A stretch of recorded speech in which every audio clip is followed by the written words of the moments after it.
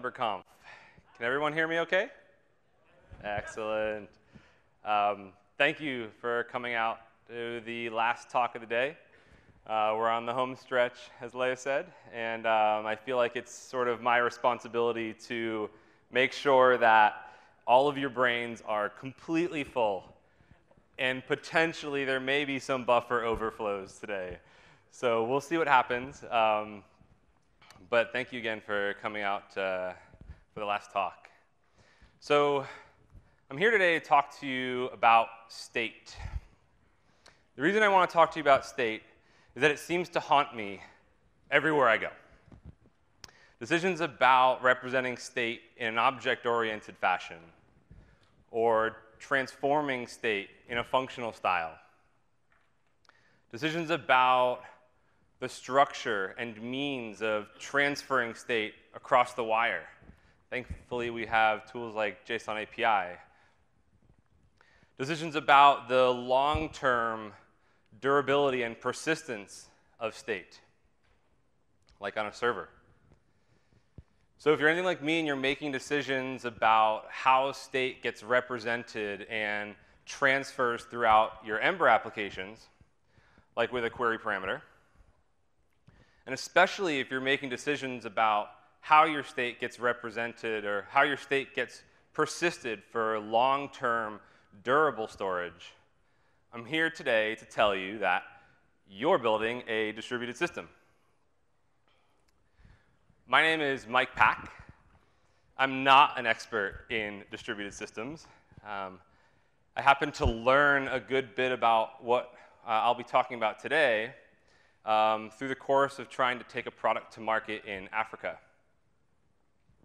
It really wasn't until I managed to step back from taking that product to market until I realized, holy crap, um, when, we, when we're building stateful applications in the browser, like with Ember, which is highly stateful, it embraces state, what we're really doing is building a distributed system. And so I'll sort of be trying, I'll be trying to prove that or showcase that to you today.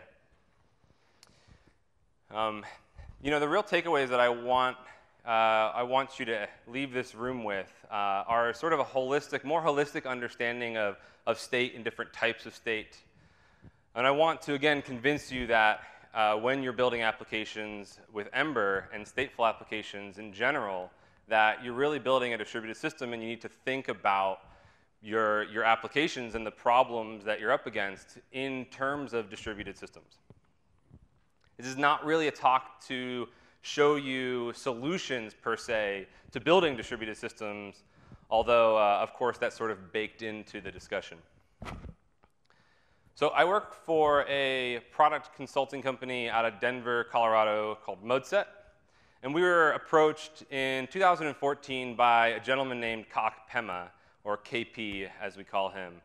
Uh, and KP wanted us to rebuild uh, some existing software that he had in market, in Uganda in particular. He wanted us to rebuild this in modern technologies that accommodated some of the problems that he had with his initial version of this product. Ember was a natural choice. Um, and, and, you know, offline was one of his major pain points. And so we'll be focusing a good bit on offline today. Here's a picture of KP and myself in Jinja, Uganda. Uh, this is the source of the Nile River. Jinja is a beautiful place, um, just amazing. I would highly recommend, if you're going to Uganda, to visit Jinja. Uh, this is the Nile River behind us in this photograph. I work with uh, an array of people, wide array of people across uh, Africa, all the way from West Africa uh, in Nigeria and Ghana, uh, through Uganda and all the way um, you know, east to Kenya. So I'm regularly working with these folks. Um, these are just some of the fine folks that I work with in Uganda. I traveled there for, for two weeks uh, this past August. And I got them to, they just happened to line up in this fashion. It was sort of serendipitous. And uh, this is, I, I love this photograph. These are you know, some of the most kind people that I've ever had the opportunity to work with uh, that they, you know, they deal with some interesting problems that we don't have to think about in most cases while building applications here in the US. Uh, within the two weeks that I was in Uganda, the, the network, the internet went down about five times, and the power went out about three times, anywhere between one and six hours at a time. So these are real issues for them. And I'm sure this is not anything new or um, it's just, you know, pretty obvious that they have these problems, but they they live in this. And that's part of the reason I went to Uganda was to experience that and to live in their environment and to really embrace how they experience these problems and of course some of the technologies that they're using, some of the computers that they're using, and just get to talk to people who are using, uh, who were using his existing software so that we could you know, touch on the right pain points. I actually have some of these t-shirts with me today. It seems like a, a, number of you have snatched some off of the swag table, so that's awesome. I have a, a few more here with me uh, on stage, so come find me after this talk, and I've got this and a couple other ones as well. So I mentioned I'm here today to talk to you about state.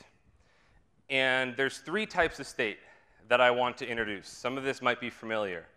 I'll talk uh, first about two types and then introduce a third. So these first two types are ephemeral state and permanent state. And as I mentioned, I'll be introducing a third type of state. So let's break each of these down individually.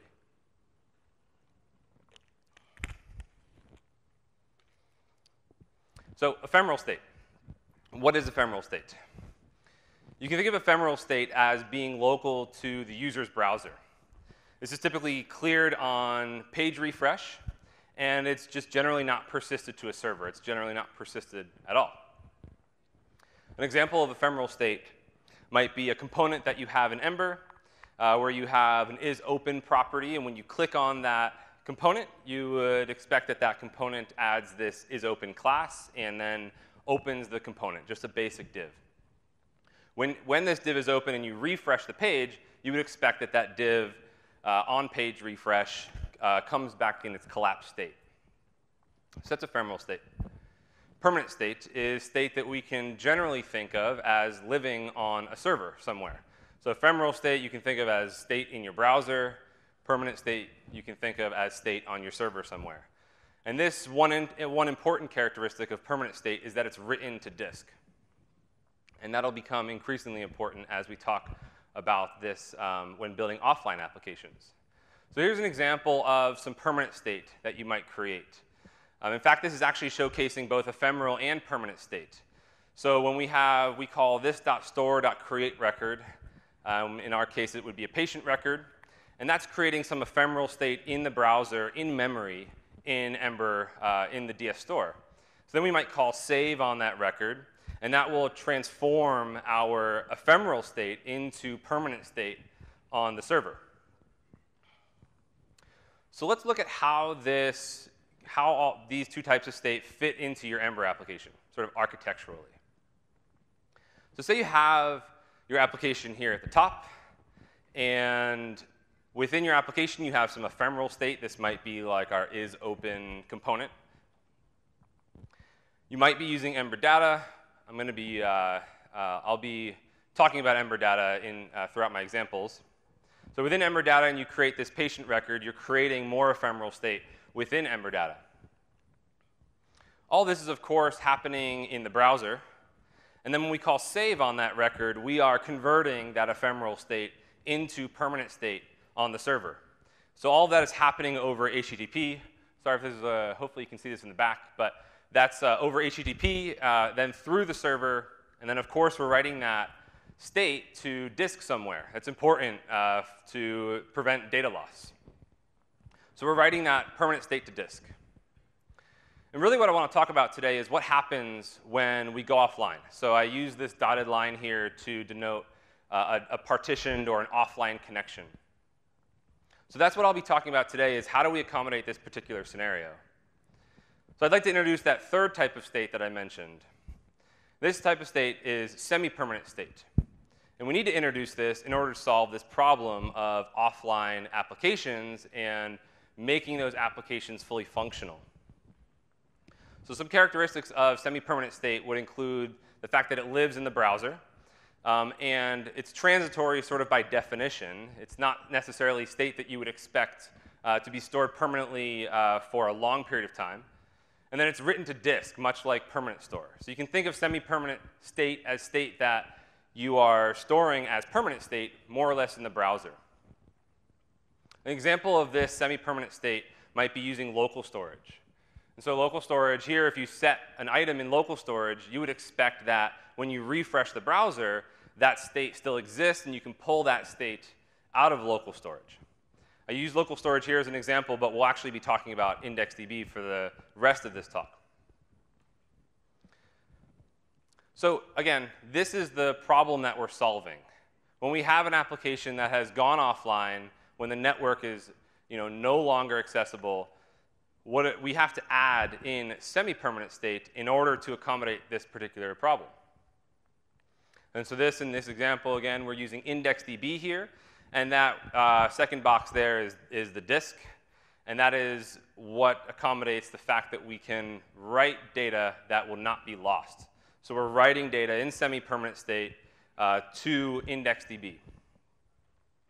Now I want to mention that you don't necessarily need to add semi-permanent state, of course, in applications that don't need to accommodate offline scenarios.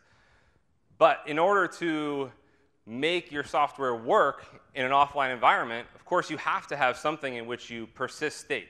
Otherwise, if all of your state was ephemeral and the, you know, the user's uh, browser crashes or their machine restarts or an, an abundance of, of things can happen at this point, we want to ensure that that state is not lost. So we need to write that state to disk locally in the user's browser. But there's one important aspect of when you write state to semi-permanent store uh, that you might not experience if you don't have IndexedDB in your applications. And that is the problem of synchronization. So let me just quickly go through an example of what I mean by synchronization. So say we have a, uh, an Ember application in the browser, and we've created a, a, a, an object in Ember data, and that object might be a conference object with a name of AmberConf. And this was a, a, mistake from the user who types AmberConf. Of course, they mean EmberConf. Um, some of you old-time uh, Ember fans will get this joke.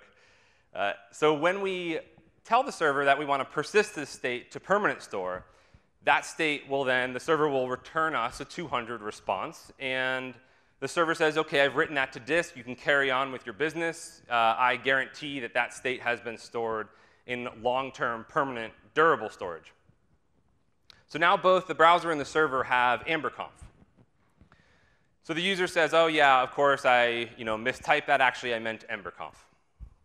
So the, the, the user types it into the form field, hits save, and now the browser needs to, or the user needs to tell the server, hey, you know, I've, I've stored that state. I need you to store that state. But at this particular time, something happens. We go offline. Maybe the user's browser crashes. Maybe there's an abundance of things that can happen, as I mentioned, even um, at the electrical level. Failures can happen. They can happen at a system level. They can happen at an application level. There's a number of, of ways in which we can get into this state. But the point is that we can no longer communicate with the server. So now the browser has EmberConf, and the server has AmberConf. So these are these two pieces of data between the browser and the server need to be synchronized. We need to get to a consistent state in which they both contain the same data. But this is not currently the case. There's a number of things that can arise in this particular scenario. There could be conflicts in which the browser has some state that the server refuses to accept, or there's problems with merging that data so we, can, we have conflicts. There's a number of things that can go wrong in this particular scenario. So synchronization really needs to happen between three pieces of our application. We have our ephemeral state, again, that's number one in this diagram. Number two is our semi-permanent state. Number three is, of course, our permanent state. When we're synchronizing state and we store that state in the browser, we first, of course, create some ephemeral state, which then needs to be synchronized with uh, our semi-permanent state, and then that needs to be synchronized with our permanent state. Now, if you're building Ember applications in the US, you likely don't need to have this uh, semi-permanent state. It's likely, likely not a factor for you. You just simply just don't need it if your application doesn't need to function offline. But there's some interesting characteristics that happen when you add semi-permanent state to your application. It's not necessarily to accommodate the offline scenario. There's some other nice benefits from this as well um, that you can reap uh, by adding this to your online applications. Some of those benefits might be minimizing the, the loss of data. Since you're writing that data to disk immediately in the browser, you have guarantees that if something happens terribly at that time, that that state has been persisted permanently or semi-permanently in the browser, and that you can carry on with your business. So we're minimizing data loss. And then we can synchronize sort of behind the scenes or asynchronously, we can synchronize between number two and number three here, between our semi-permanent store and our permanent store, behind the scenes. The other aspect of this is that it allows us to create uh, interfaces with zero latency. So because we're writing to disk immediately, we can resolve our promises very quickly. So we can create interfaces with zero latency. And then again, behind the scenes, that data is synchronized between our semi-permanent store and our permanent store. So your Ember application is probably somewhere on this scale of robustness. You have probably some components of this. And if you don't have a server and you're simply storing data in IndexedDB and that's all your application does, then this doesn't really apply so much to you, but I would assume that a number of you have some server somewhere storing some of your state. But particularly when you have parity between your state in the browser and the state on the server, you have to deal with this problem of synchronization. And this is common in distributed systems, in particular distributed databases. So I want to simplify this diagram a little bit and just say that we have a browser and a server. And then I'll sort of generalize this a little bit and say that we just have computer A and computer B. This is a distributed system in and of itself. It's distributed. You have nodes in different places on, running on different machines. But of course, a distributed system can have more than two nodes. It can have three nodes. And a distributed system can have n nodes, of course. Where your Ember application is one or more of these nodes in this system, and probably you have a server, and so maybe one or more of these nodes uh, is your server or uh, any number of servers that you might be communicating with. So if we need to synchronize between n number of nodes in a distributed system, how do we think about this problem? Well, how do we think about the synchronization and the challenges of synchronization? Well, there is a way, there's an established way, and this is, you know, there's a lot of research that's been done in this domain. But the way that I'll be talking about today is, is with CAP. The way I want to phrase this particular problem is with CAP.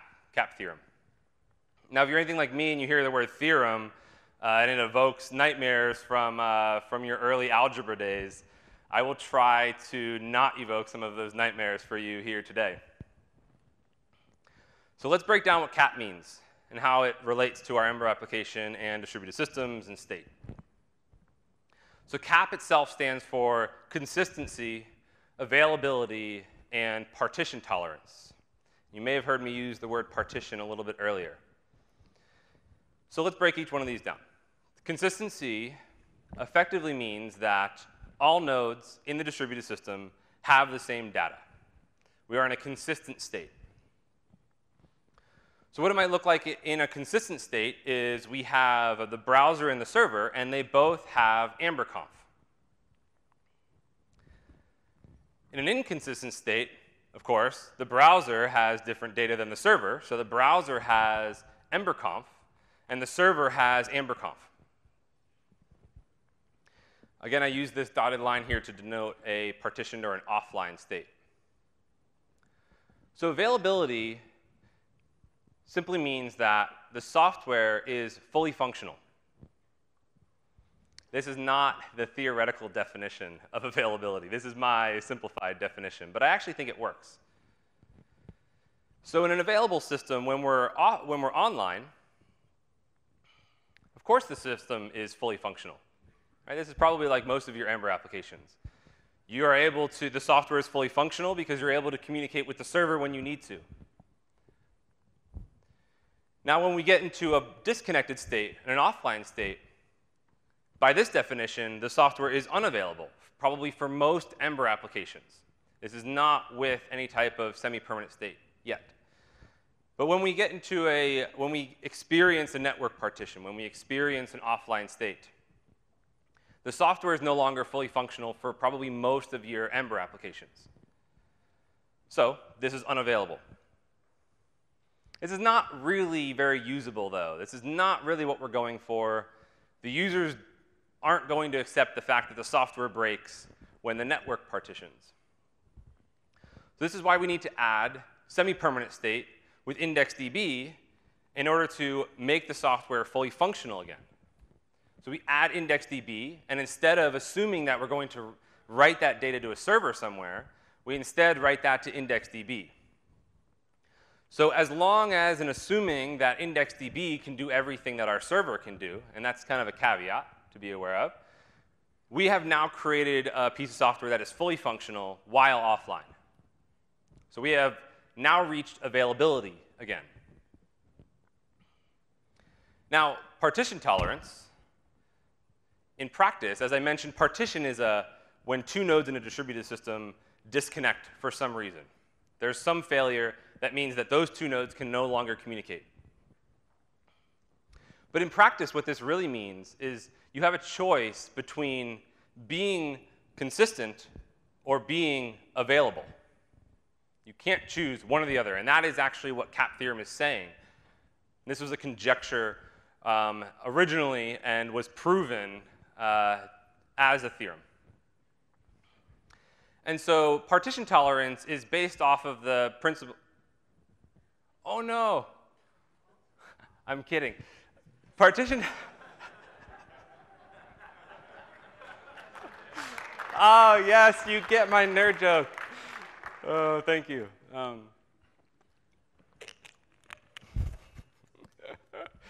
partition tolerance is based off of the principle that computers will fail.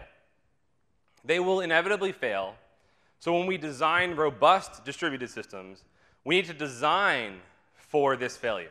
We design for the failure first and then layer in the ability for a, a, a successful case or, or a, um, the normal happy path case. But again, sort of in practice, this means the choice between being consistent or available.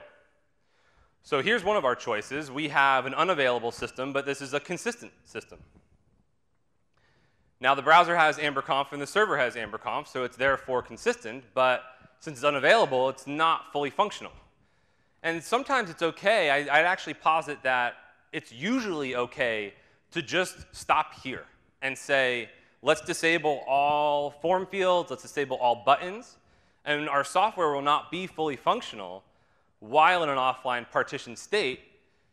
But that's okay, because making the system work in an offline state and adding that additional layer really adds a lot of complexity. And so it's actually okay. I'm not trying to tell you that you should always build your systems with some type of semi-permanent state. In fact, I'm saying that you maybe would want to consider just stopping here. But that's not really what we're going for when we're building offline applications. What we really want is an available system. And if we want the system to remain available, we have to accept the fact that it will be inconsistent. And we will need to resolve those inconsistencies in time. This is an idea called eventual consistency. And of course, to make that available and to make that fully functional, we add IndexedDB and we write to IndexedDB instead. We assume that that'll eventually get consistent and will eventually uh, become the same data that the server contains, and the system will figure it out. So, really, going offline means working with some of the tools in your browser. And we've heard about a number of these tools today. So we've heard about service workers that'll allow us to cache assets and work with data. We didn't really use service workers to work with the data, with data in particular, and, and in fact, we actually used app cache um, just uh, for browser compatibility. But it's really just working with service workers and working with IndexedDB, which is a document database, and I probably should have defined this earlier, but it's a document database in your browser. But going offline is sort of the easy part, right? Caching your assets, caching JavaScript, style sheets, and images is sort of the easy part, and then your browser can just pull that from cache. The real challenge in building offline applications is synchronization. So we come back online, and now it's time for us to synchronize with our permanent store. So anything that we've written to IndexedDB as semi-permanent state, we now need to propagate that state to the server somehow.